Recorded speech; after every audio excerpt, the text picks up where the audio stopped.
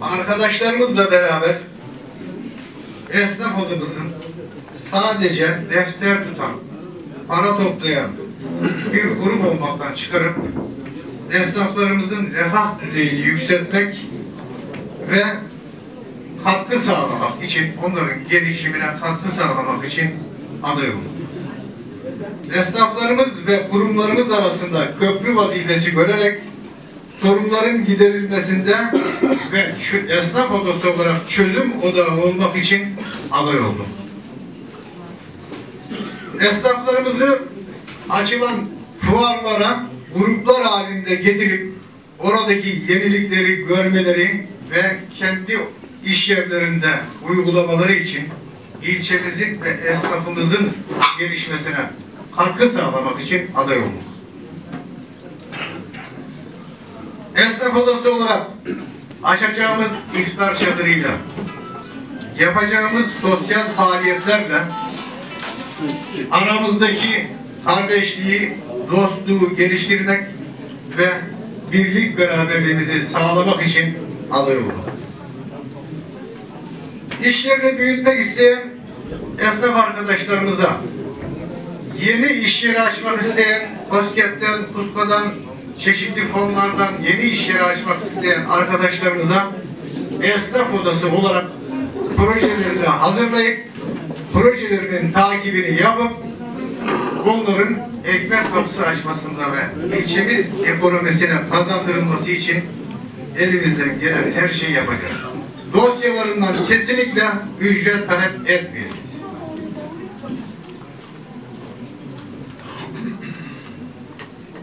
Değerli arkadaşlar, biliyorsunuz ki ilçemizde sezon çok kısa. İnsan hareketi çok az. 2-3 ay bir sezonumuz var. Ondan sonra hep beraber sıkıntı çekiyoruz. İlçemizin sezonun uzaması için, insan hareketinin sağlanması için uzun yıllardır yaptığımız bir çalışma var. Diyoruz ki bu ilçenin kalkınması turizme bağlıdır. Biz ilçemizde turizmi başlatmalıyız. Turizm hareketini başlatmalıyız. Bu konuda uzun yıllardır bir çalışma yapıyoruz. Dedik ki bizim memleketimiz dünyanın en güzel memleketi. Dünyanın hiçbir yerinde 100 tane şelale, sayısız mağara ve Türkiye'nin dördüncü en uzun kanyonu, 6 tane yayla, kumsal tarih, hepsini bir arada, hepsini bir ilçede bulamazsınız. Yoktur. Bu sadece Türkiye'de var. Ama biz bunun kıymetini bilmiyoruz. Biz bunun tanıtımını yapamıyoruz. Biz Türkiye'mizi turizme aşamıyoruz. Bu konuda Kültür Turizm Derneği olarak çok ciddi bir çalışma yaptık. İlçemizin Çatak köyündeki şelaleleri ve kanyonu, mağaraları, o bölgeyi komple tabiat parkı ilan ettirdik. Bir yerin tabiat parkı ilan ettirilmesi bir, bir köyün ilçe olması kadar zordur. İnanın buna ya. O kadar mücadele verdik ki burayı tabiat parkı yapmak için. Bunu bir ben bilirim, bir Allah bilir. Bize yardımcı olan, desteğini esirgemeyen milletvekilimize de bu konuda huzurunuzda teşekkür ediyorum. Değerli arkadaşlar, hani artık dünyada kumsal turizmi bitmiştir. Dünyada doğa turizmi başlamıştır. Şimdi Karadeniz bölgesini gidin dolaşın. Ordu, Trabzon, Rize, Artvin o bölgeyi dolaşın. Sezon en az 8 aydır oralarda. Gidin boş yer bulamazsınız 11. ayda. Bütün köylerde insanlar köylerdeki evlerini boşaltmışlar, kendileri şehre inmişler, köylerdeki evlerini pansiyona çevirmişler. Herkes bir şeyden para kazanıyor. Kimisi dereden dereye halat atmış, halattan atlatıyor, para kazanıyor. Kimisi salıncak asmış, para kazanıyor. Kimisi yolun kenarına yu- yumurta pişiriyor, para kazanıyor. Kimisi kuymak yapıyor, para kazanıyor. Yani herkes bir şeyden para kazanıyor. Kimisi nakliye yapıyor, kimisi araç kiralıyor. Yani bu ucu bucağı olmayan bir gelir. Biz ilçemizdeki bu kıymetleri eğer bir an evvel turizmi açarsak bana inanın senede en az 300 bin insan gelecek ilçemize. Ve o kadar çok gezilecek, görülecek yer var ki ilçemizde. Burayı bir günde, iki günde öyle gezme şansı yok. En az bir ay- bir hafta ilçemizde konaklaması lazım. Bunun için bizim iç- biz- bizim ilçemizde her türlü imkan var. Kumsal istiyorsa kumsal var. Denize girmek istiyorsa. Yaylaya gitmek istiyorsa yayla var. Şelale gezmek istiyorsa şelale var. Kanyona çıkmak istiyorsa kanyon var. Var da var bizim ilçemizde. Biz bunu sadece değer- değerlendireceğiz, tanıtacağız, turizmi açacağız. Bunun için diyorum ki ya bana diyorlar ki ya arkadaş senin ne işin var esnaf odası başkanlığıyla diyorlar bazen. Benim ilçeme hizmet etmek için benim ne olursa olsun yaparım. Esnaf odasıdır, başka bir şeydir. Ben yeter ki bu ilçeye, bu esnafımıza, Türkiye'miz, Türkiye'mizin insanına bir katkım olsun. Hepiniz beni tanımışsınız. Ömrüm boyunca ben bu, bu insanlara, bu memlekete hizmetle geçtim ömrüm. Hiçbir karşılıkta beklemedim, hiçbir karşılıkta beklemiyorum. Samimi söylüyorum, esnaf odasının maaşını da almayacağım. Bir tane fon oluşturacağım orada. O fona maaşını yapacağım ve bir sürü zengin iş adamı arkadaşımız var. O fondan, onlardan da o fona destek isteyeceğim. Esnaflarımızın çocukları okuyamıyorsa, üniversiteye gidiyorsa katkı yapacağız. Esnafımızın hastası var, tedavi ettiremiyorsa, parası yetmiyorsa destek olacağız. Esnafımızın başına bir iş geldiyse Allah göstermesin. Bugün bana yarın sana herkesin başına gelebilir. Dükkanı yanabilir, başka bir şey olabilir. Kendisi başı dolaşabilir. Kim sahip çıkacak? Eğer bir esnaf odası başkanı başı dolaşan, başına iş gelen, bir sıkıntısı olan esnafına sahip çıkamıyorsa, 500 üyelik bir esnaf odasının başkanı buna sahip çıkamıyorsa, o esnaf odası başkanlığını yapmasın. Yani, değerli arkadaşlar, bu konuda inanın, güvenin, gerçekten esnaf odasının ne kadar işler yapabildiğini, neler yapabildiğini, ne kadar aktif olabileceğini size ispatlayacağım. Size bu konuda mahcup olmayacağım. Emin olabilirsiniz. En az iki yıl içinde Türkiye ilçesinde büyük bir değişim ve gelişim başladığını hep beraber şahit olacağız.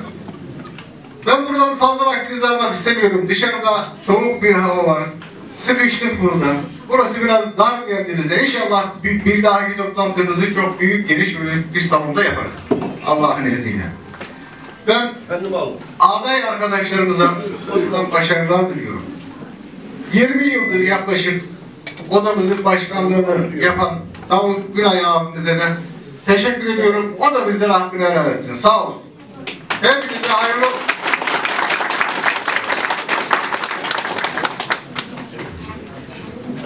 biraz basit görünen, sadece evrak alıp evrak veren ve karşılığında paranızı alan, güler yüzlü hoş karşılamadan bile mahrum bırakılan bu kurumun siz değerli esnaf kardeşlerimize en güzel şekilde temsil edecek ve çehresini değiştireceğiz.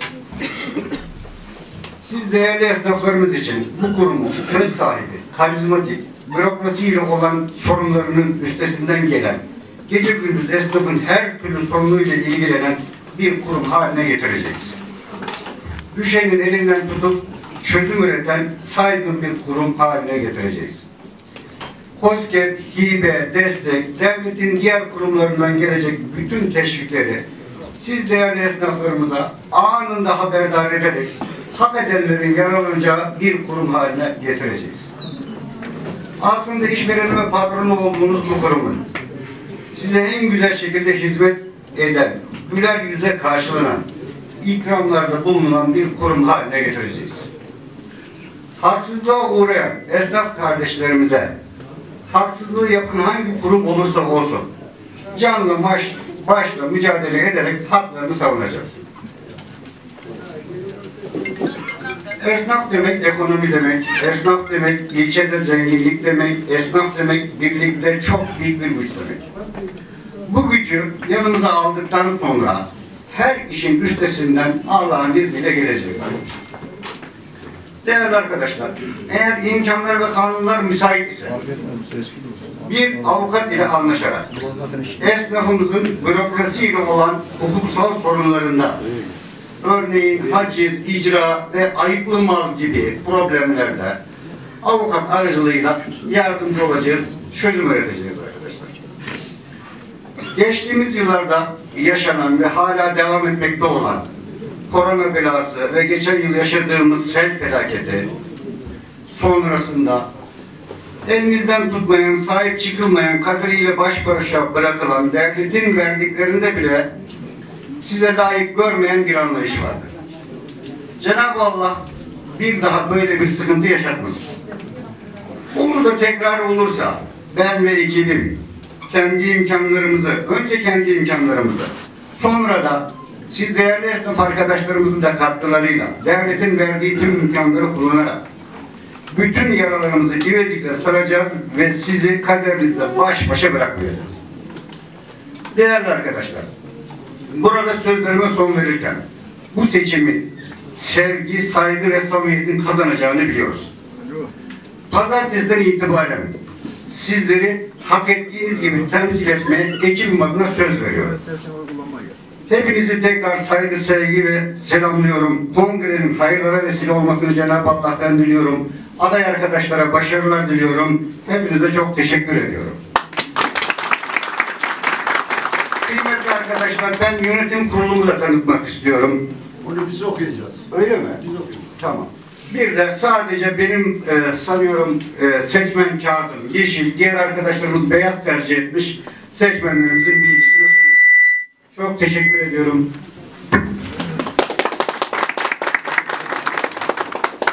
Evet. Üçüncü aday arkadaşımız Coşkun Gökçe. Sizden isteğimiz yani değişimden yana olun. Ben veya diğer aday arkadaşlarım. Ama sıkıntılarımız çözülsün istiyoruz. Hepimiz aynı fikirdeyiz anladığım kadarıyla. Tekrar sizi soğuk havada fazla bekletmeyeceğim. Hepinize ayrı ayrı teşekkür ediyorum. Hepinizden Allah razı olsun. Yanınızda bırakmadığınız için. Sağ olun, var olun.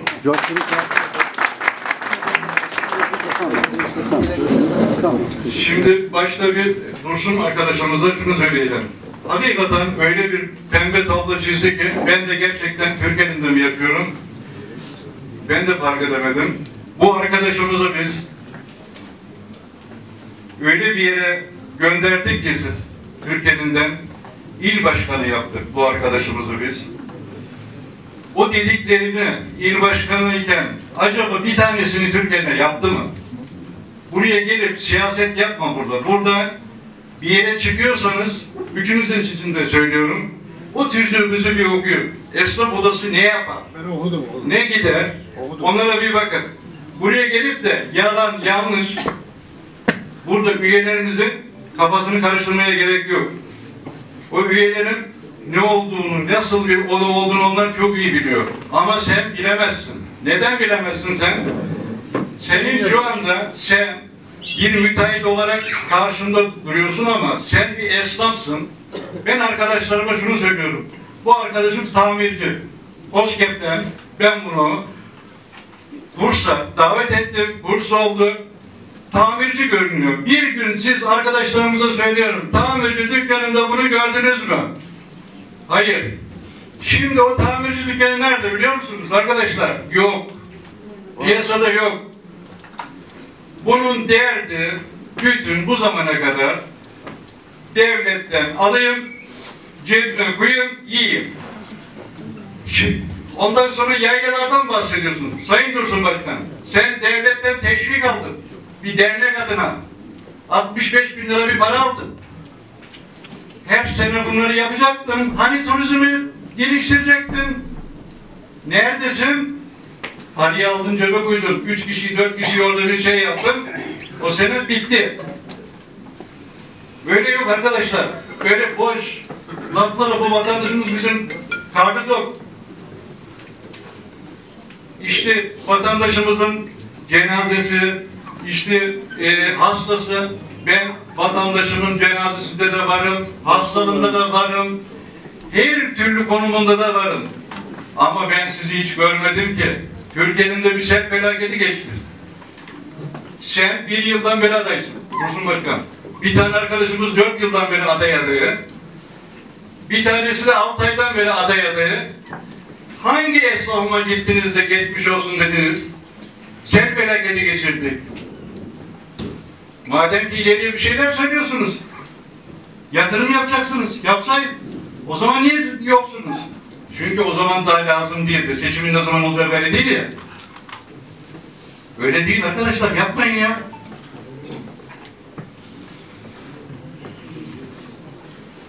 Sana aslında çok söyleyeceğim şeyler var ama Dursun Başkan. Konuş konuş. Yok ben burada bu vatandaşımı bekletemem fazla. Sen çünkü e, buraya gelip de burada bu şekilde yalan, yalan, dolanla iş çevirme. Bir daha zor konuşsun.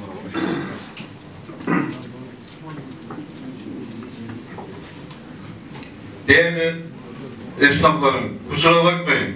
Bana kendilerine laf söylettirmek istiyorsa ben de cevabını veririm. Benim cevap vermeyeceğim hiçbir şey Allah'tan başka kimse yok. Hepsine ben cevap verebilirim. Şimdi COSGAP'ten işte şunu getireceğim, bunu biz COSGAP'ten zaten gerekenleri vatandaşımıza yapıyoruz. Yapmaya da devam ediyoruz. İşte evraktan işte para alıyoruz. İşte şundan. Ya siz evraktan tabii ki para alacak. Bizim bir yasamız var. Yani bu yasayı biz çiğnemiyoruz. Ama hiç kim dönmüş esnaf odasından işim olmadı deyip de kim dönmüş bir tane bana gösterin. Ben varım ben. Neden acaba? Ben varım lan. Neden söyle? Gel çık. Çocuğa vergi aldım. Haydar abiye de söyledim. Haydar abi de alamadı. Çocuğu da burs için gönderdim de. Vardı bir sebebi de onun için alamamışsındır. Tabii canım borcu var diye verdim. Senin konuşmaya hakkın yok buraya zaten fazla. Yok ben de. Şimdi Ali arkadaşımız, değerli dostumuz, bu arkadaşlarla biz 30 yıldan beri gerçekten çok bir dostluklarımız vardı. Yine de dostluklarımız olacaktır. Ama buraya çıkıp da işte ben şunu yapacağım, ben bunu yapacağım. Da bu işler olmuyor. Sen bir kere kendi dükkanına bir kere saat 11'den aşağı gelmiyorsun ki kendine hayır olmayan adam vatandaşa nasıl hayır olacak ya? Burada burada gelip de burada edebiyat parçalama. Biz seni çok iyi tanıyoruz. Seni biz zamanında bir belediye meclis üyesi yaptık. Emirleri başka yerden aldın. Gittin renkler kullandın. Şimdi gibi şeş kaza kazansan kim bilir kimden emirler alacaksın. Sen kendi başına hiçbir zaman hareket etmedin ki. Yok öyle. Bu yaşa geldiniz. Türkiye'nin madem ki bu kadar ileri, ileri gelen kişiler bensiniz. Biz bu esnaf odasının biz zamanımızdaki gençler olarak biz buraya getirdik ve kurduk. Bir yerlere getirdik. Siz bu Türkiye'de ne yaptınız? Bir tane dikili taşınız, bir imza, bir ceket asacak bir şey yaptınız mı? Ben size onu soruyorum. Lütfen. Ben fazla esnaflarımın burada zamanını almayacağım. Bir de sadece şunu söyleyeceğim. Bugünkü bu soğuğu çekmemizin sebebi de değerli arkadaşımız Ali Karahan'dır. Boş konuşuyorsun, boş. Şubat'ın 12'sinde Bundan öncesinde bundan daha daha doğrusu. Şubat'ın 12'sinde Boş konuşuyorsun. Çekilin. Boş konuşma. Şubat'ın 12'sinde Boş konuşma. Açın dışarı. Boş konuşma. Şubat, Böyle bir şey. Ee, şimdi arkadaşlar seçime geçeceğiz ama seçime geçmeden önce sizden e, önemli bir ricamız var. Oy kullanıp da dağılmanızı rica ediyoruz. Şimdi ben konuşma sırasına göre oy pusulalarını okuyacağım. Oy pusulalarını okuyacağım. Ona göre siz değerlendirin.